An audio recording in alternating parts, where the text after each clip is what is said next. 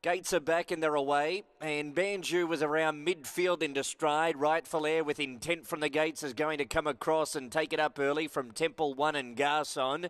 Banju's a fraction wide, still looking for a spot early, up to fourth but three deep.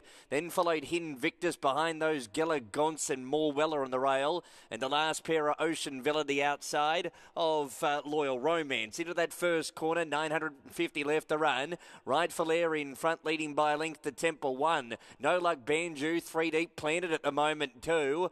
Garson is fourth on the rail and in the centre is Invictus. A length and a half away more Weller, then followed by Geller Gonce and towards the tail end Loyal Romance and Ocean Villa.